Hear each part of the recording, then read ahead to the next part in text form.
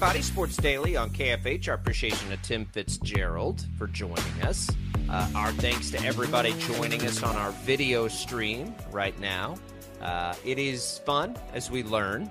Uh, you can comment, by the way. If you comment on YouTube, I know that we will see those in our chat. We can put those up on the screen. Uh, Twitter, I think we see on Twitter. So you can still tweet at us as well on the show. And then uh, the Facebook, I'm not sure, Tommy, if those comments. Facebook will come, come right, right, onto through. our screen also. So YouTube and Facebook, you comment there. Uh, we'll be able to like see it right on the screen, respond to you right away. And we can put those out over the stream too. So um, excited about that. Glad to have everybody on board there. Of course, always a big thank you to everybody listening. You can catch the show on the Audacy app as well. Uh, all kinds of good stuff. All right. Let's uh, let's talk a little betting with our pal Chelsa Messinger. On the line is the host of the Daily Tip and Audacy Sports Betting Insider, Chelsa Messinger. Insider calls are presented by BetMGM. Go check out all of the latest lines today on the BetMGM app. Also, be sure to check out the Daily Tip podcast for more of Chelsa Messinger analysis. Just search BetMGM wherever you find your podcasts.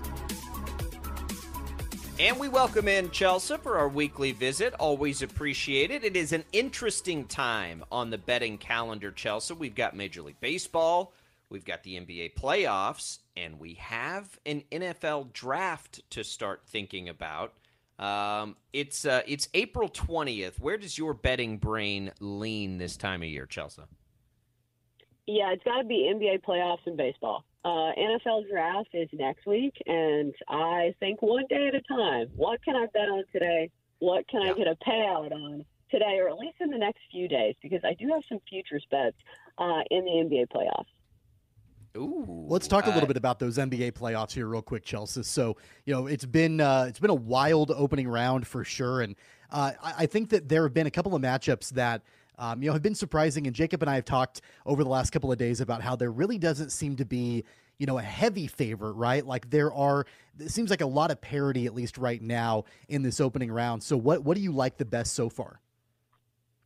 Well, just as far as a winner, I think everybody would still be on the Bucks if Giannis wasn't hurt. I think that's the biggest question mark. Uh, and we'll see about the Warriors because I know people love to give them credit even though they're down two games to nothing, people are still saying, "Oh, Golden State, well, they're back at home tonight." Uh, I think it's going to be the Kings. Uh, but the storyline that I was hinting at was how are they going to play without Draymond Green? Because if the Bucks can win without their superstar in Giannis, if uh, you look across at the Grizzlies, if they can win without their superstar Ja Morant, Golden State should at least be able to win this game uh, without one of their lesser scoring options in Draymond Green. But the futures bet that I'm kind of referring to is I'm going to take the Kings on the series spread minus one and a half games. This is plus money at plus 130. They already have a two game lead. This means they need to sweep the series. They need to win it 4 1 or 4 2, which I think is totally doable. At some point, we got to start giving credit to the Sacramento Kings. I don't think it's any of the factors being like Golden State's bad on the road. You know, Draymond Green's out. I think the Kings are just a better team. So I'll be there uh, with my money. I'll be on the Kings to win this series by at least two games. Yeah, I've swung and missed on the Warriors twice now. Uh, so I'm I'm the victim you are talking about, or maybe the sucker uh, that you're talking about with the Warriors. Uh, I've been there it's you know as we look at games tonight you've got philly and brooklyn sacramento and golden state you mentioned golden state's a five and a half point favorite at home which is interesting and the clippers and the suns individually anything you like out of those three games for tonight i think the toughest part about betting on the nba is that some of the bets that seem so square and so obvious sometimes in the right place. And I think I've been with you on the Warriors. It's been real tough not to say, well, they're in a must win spot, uh, especially tonight back at home. I would imagine they probably win this game, but I thought that last time. So I am not playing them uh, in the single game action there. But the other one I'm looking at is Kawhi Leonard and his points prop tonight against the Suns. It's 29 and a half. It's minus 105, so close to even money. And this one seems a little square too, because I think we all saw that interaction between Kawhi Leonard and Chris Paul, where Chris Paul bumped his shoulder quite aggressively after the game. I think there's some hard feelings there. Uh, so I think people are seeing that and they're like, oh, Kawhi Leonard's going to go off. But it's not just that. Kawhi Leonard is their primary scoring threat. He has hit this in both of the postseason games so far. If it's not Kawhi doing it, I don't know who is. It's not Russell Westbrook. He's not a good enough shooter.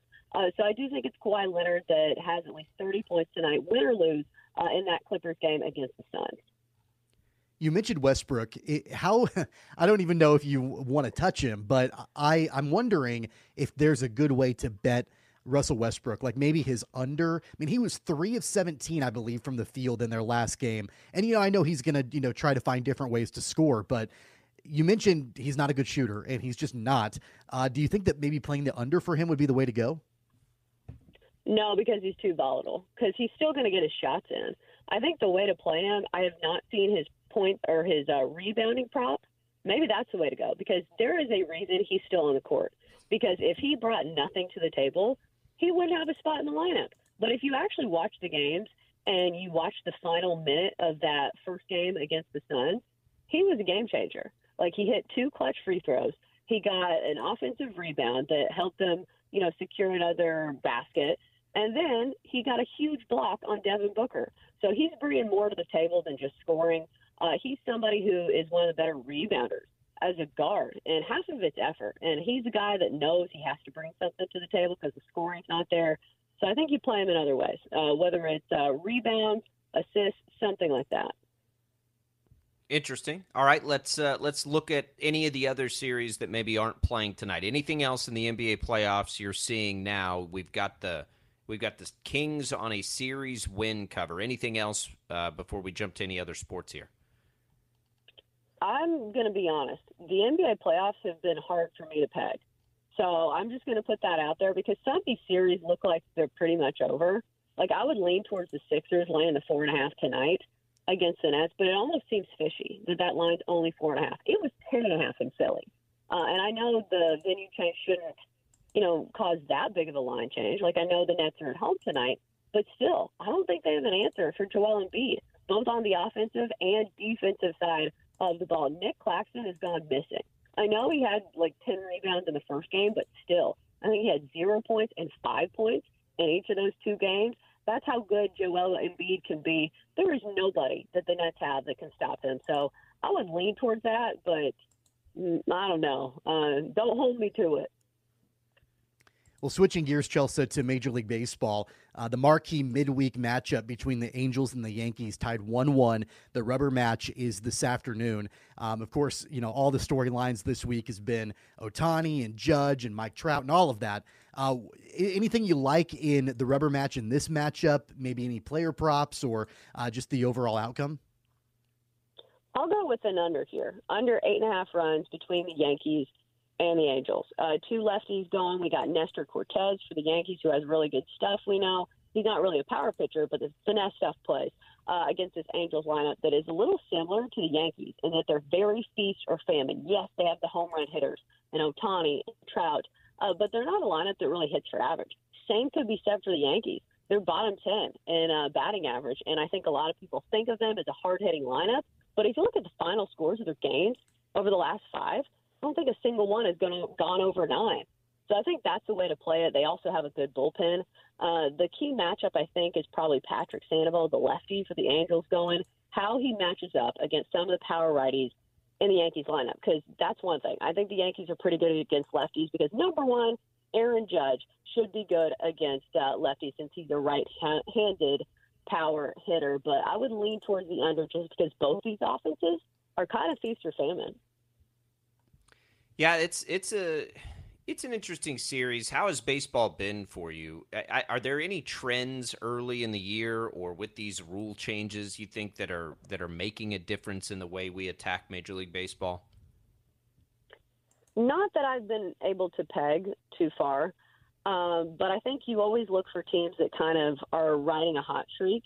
Because look at the Pirates. I've bet on the Pirates two days in a row now, and I've won on the Pirates what kind of world are we living in? But today the Pirates are minus 160. That's the thing about betting. You've got to catch the trends before they get, you know, too out of hand because eventually the value is going to be all gone. Like, I don't want to bet on the Pirates at minus 160. Um, but I think that's it. You are trying to look for undervalued teams like the Tampa Bay Rays. Nobody's, you know, they're not sneaking up on anybody. We all know they're good. We all know that you're probably going to have to lay the run line to bet on the Rays. But I think that the key in baseball is looking for those undervalued teams and also kind of fading some of those teams that have the blue chip, you know, on their uniform, but they're not really playing that well. Like, look at the Dodgers. What are they sitting at 500 right now? Same goes with the Astros. The Astros have some problems in the bullpen. They can definitely give it up on any given night. So be careful laying the big minus money with the favorites because some of those favorites have proven they don't deserve it.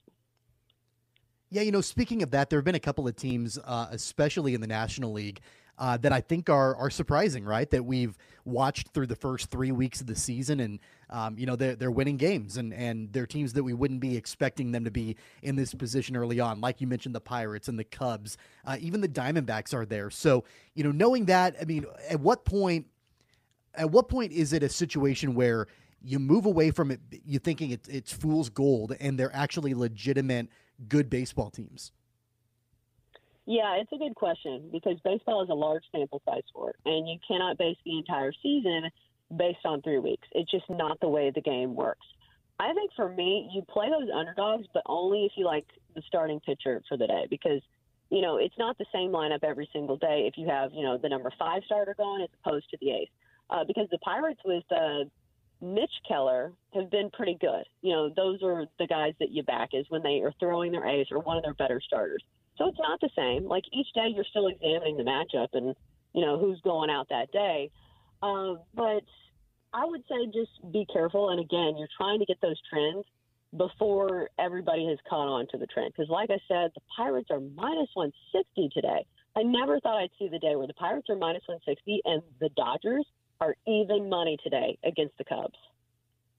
Interesting. Anything else, Chelsa, we need to hit today? uh, go to BetMGM and place our bet on today before we let you go? Yeah, best bet of the day for me will be on the Phillies in the first five, minus a half, which means they need to be winning at the end of five innings. It's minus 145. You kind of have to look for it at BetMGM.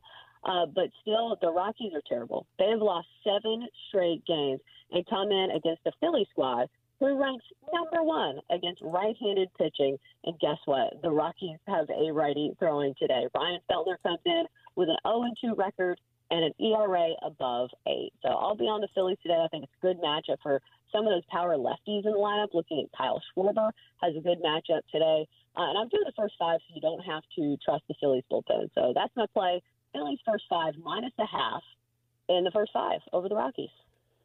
There it is. Uh, you can find it at BetMGM. Chelsa, we appreciate it. Let's do this again next week. Yeah, thanks for having me. That was the host of the Daily Tip and Audacy Sports Betting Insider, Chelsa Messinger. Insider calls presented by BetMGM. You can go check out all the latest lines today on the BetMGM app. Speaking of BetMGM, you can enjoy all your favorite sports like never before at BetMGM. Sign up using code JACOB, J A C O B, and receive up to $1,000 back in bonus bets if you don't win your first bet. When you register with BetMGM, you'll get instant access to a variety of parlay selection features, live betting options, player props, and daily boosted odds specials. And with BetMGM at your fingertips, every play and every game matter more than ever. Find out why BetMGM's the king of sportsbooks. BetMGM and GameSense remind you to play responsibly and offer resources to help you make appropriate choices. Visit BetMGM.com for terms and conditions. 21 years of age or older to wager, Kansas only. New customer offer. All promotions subject to qualification and eligibility requirements. First online real money wager only. Rewards issued as non withdrawable bonus bets. Bonus bets expire seven days from issuance. Please gamble responsibly. Gambling problem? Call 1 800 522 4700 in partnership with Kansas Crossing Casino and Hotel. Tommy and I will be back. More Sports Daily. Stick around.